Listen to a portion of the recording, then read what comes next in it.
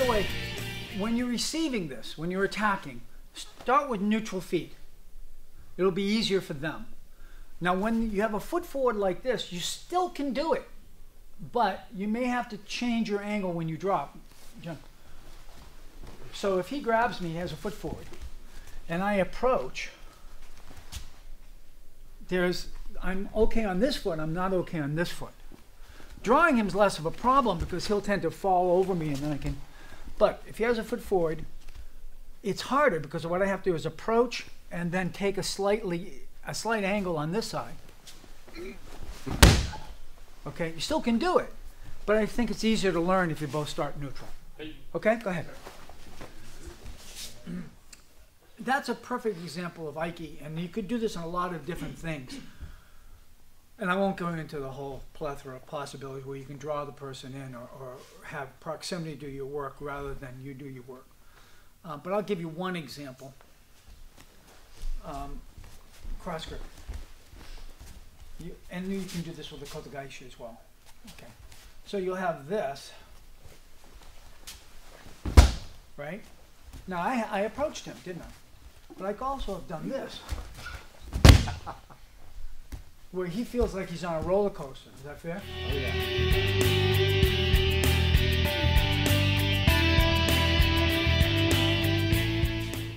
That begins a coil.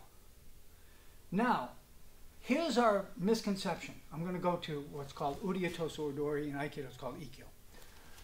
Misconception. Okay? What? Coil. Uncoil. Listen for a moment, please.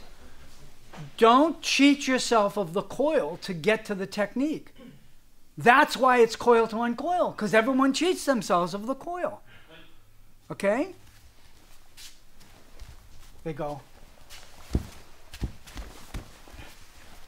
No! Get her to Arch. at, okay? Drop it down and, oh, I'm ready to go, right? No, I haven't coiled. Look what she does when I coil. You see what I'm saying? Coil to uncoil. Go ahead. Okay, yeah? No,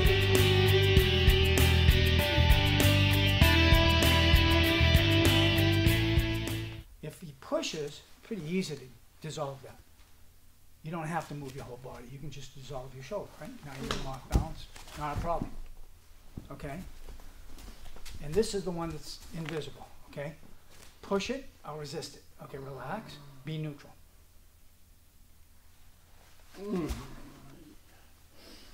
I mean, it's, it's absolutely invisible. He, he knows something's happening, but he, it's totally irrelevant to him. He doesn't even register.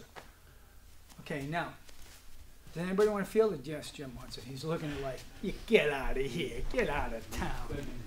Okay, I, I am out of town. Okay, so he pushes, I dissolve. He holds, I dissolve. Oh. Let's go back to here. Strong.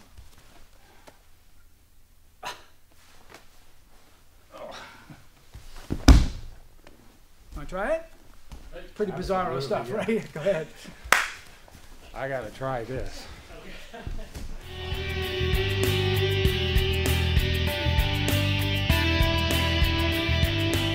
An easy concept. Again, just something that people tend to ignore. We talked a little bit about this when we talked about the seminar called The Laws of Locking, available from Bushidokai Budo. Um, cumulative locking is a simple concept that has to do with if you lock one thing, the next joint in line tends to lock.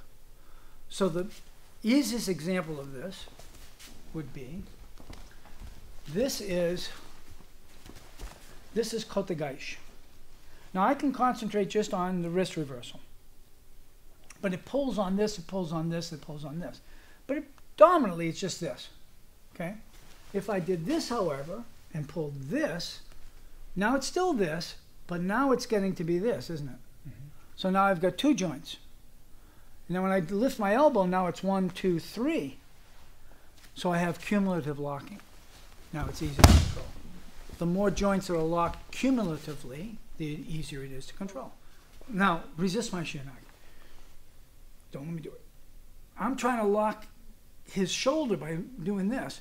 I could easily just lock his wrist, which will take his elbow and shoulder. Because again, my mind's on what he's resisting, right? I won't make you fall, but I could do this. I'm pulling in his little finger, which is creating elbow leverage, which is dropping his head, and at this point, when I lift his elbow, his shoulder feels. That's cumulative locking. Now, if I turn like this, he has to high break fall over that, or he's you know in pain.